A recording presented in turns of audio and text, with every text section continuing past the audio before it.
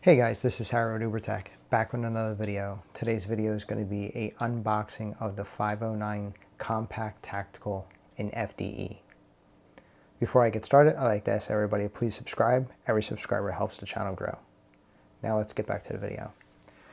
This video is not going to be like a really in-depth data on the gun. It's just more or less just an unboxing showing you what it comes with and give you some information here and there. So let's get into it. So it comes in this cardboard box and then it comes with this cool bag that they give you. It's the back. It has the two handles. It's got two zippers right here with plastic on the ends and it also has the two loops so this way you can lock it if you need it to. And unzip it. All right, first off, here is the gun. Put that aside. So when you purchase this, you have to be careful. They have two options. One is with, uh, I think, three 10 round mags, and that's in case if you live in a state where you can only have the maximum of 10 round mags. Uh, this version comes with a 12 round mag.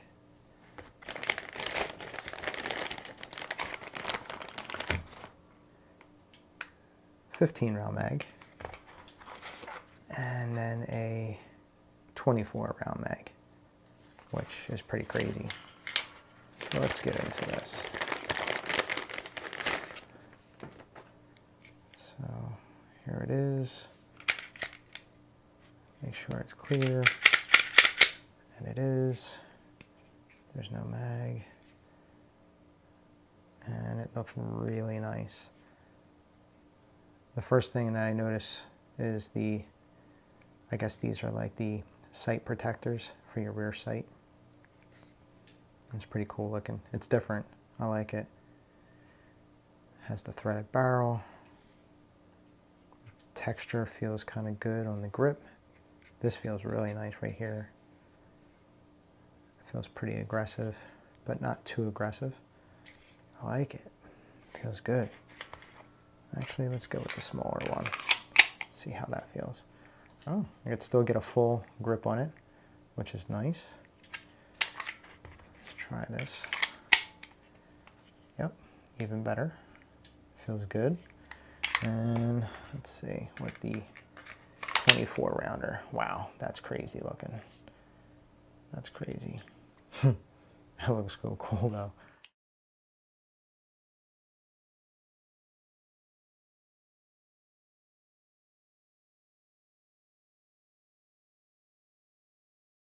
Four point thirty-two inch barrel. Overall length of the the uh, firearm is 7.4 inches. The barrel has a 1 in 10 twist rate and it has this little thread protector that you could take off. The trigger is a hinge design, so if you see when you push this down, eh, that's the only way that the trigger could be pulled. So I did a lot of looking around on the internet before I purchased this. A lot of people said that the trigger felt really gritty to them and I wasn't sure if it was going to feel the same to me because I know there's a lot of people that are very picky about the triggers. Feeling it, I do feel the grittiness, so I understand what they're talking about. I don't know if that will uh, bother me. I guess what really it comes down to is how well does it shoot even though it has a gritty trigger. So let me feel the break again, making sure we're clear. So there's some take up, you hit that wall, it's a clean break. Resets pretty short and you're right up against the wall again. Like maybe like um like just the slightest little movement. Watch. All right, there's the reset. And then, I mean, it's ever so slight. It's less than a millimeter. And then you're right back against that wall and you hit that clean break. I, I don't mind it. I don't mind it at all. So there's a big difference between me ghosting the trigger here versus actually shooting it at the range. Once I get some rounds through this thing, I'll know better and I'll know if I like it I also think uh, eventually it'll break in and eventually it'll feel a little bit more smoother when you're pulling the trigger. The other thing it comes with is Trijicon night sights, which you can't really see because I think it's labeled on the side on the rear. But since these are here, it's blocking that. That's pretty nice that they come with Trijicon suppressor height sights. The other thing that's a real big feature for this firearm is that the cutout for the uh, optic is like a low profile, meaning that when you put the optic that you, let's say your red dot that you're going to use, it'll be set lower so this way you can co-witness your irons with the red dot. And speaking of that, let's get into the rest of what this comes with. So you have this little zipper thing right here at the top. Let's see, comes with your FN lock. And these are what I was gonna start talking about.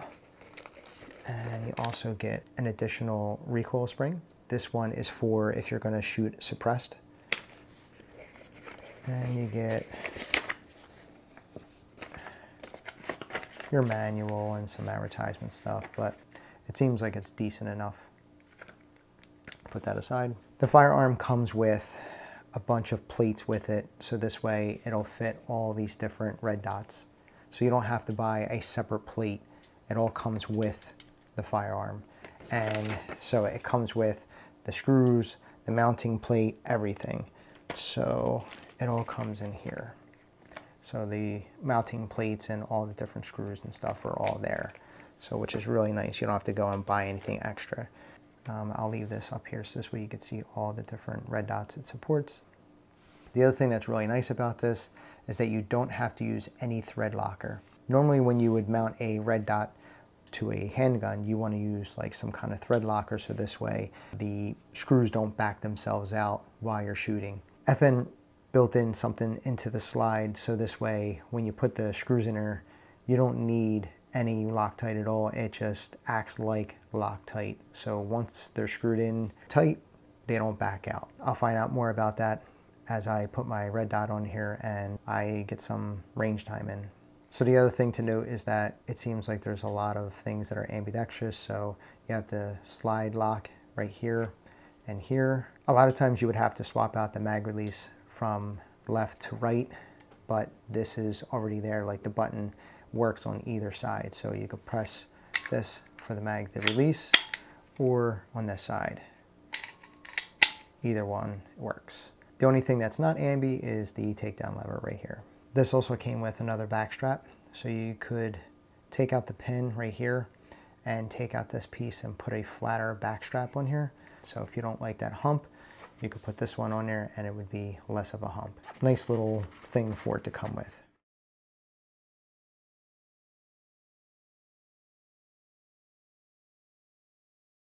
So first impressions, I really like the way it looks. Love the FDE. I like how it's not just the same color from the slide to the to the grip module. Also, I like how they added this uh, sight protector in the back. Not so much because I'm ruffling my guns or anything like that, but more or less just because it looks like different and it looks pretty cool. Also, I love how they gave you Trijicon suppressor height sights on this thing, so that's pretty cool. The trigger, um, pleasantly surprised because I thought it was going to be a lot worse after hearing a lot of bad things on the internet. I'm also really happy with the different mags that they give you. It coming with a 12, 15, and 24 is awesome.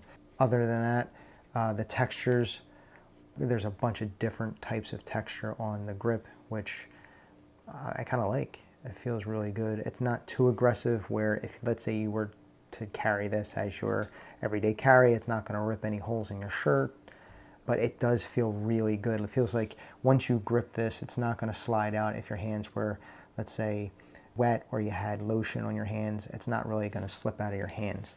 I'll know better when I go to shoot this thing at the range and certain first impressions might change after I've shot it. But my guess is I think I'm gonna really like how this shoots just because how it feels in the hand and I really like a lot of the features that come with this, this handgun. As far as the price tag, it might be pretty pricey, but just at first glance, it seems like you get a lot for your money. So again, first impressions, that's all I can think of right now. So stay tuned for the review. The review will give you way more information about the handgun. It'll give you all the specs, everything, and also it'll give you my opinion whether I think it's worth it to buy because I'll give it a score. But at first glance, I'm super excited to get some rounds downrange with this handgun. Guys, if you thought this video was helpful, please give it a big thumbs up. If you haven't already, please subscribe. Every subscriber helps the channel grow. And as always, thanks for watching my videos, and I'll see you in the next one.